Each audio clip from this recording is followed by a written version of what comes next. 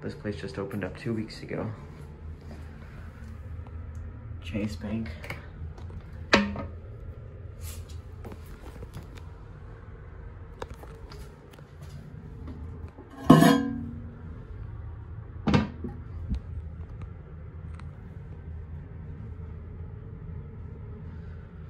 Looks like this uses 1.0.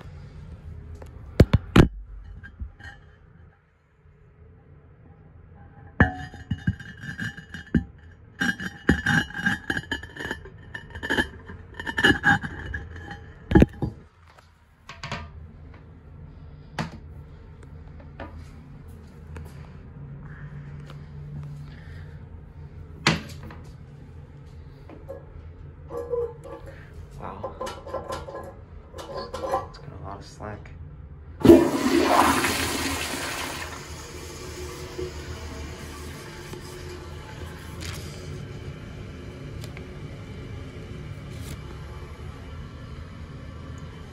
Kohler, American Standard, and Sloan.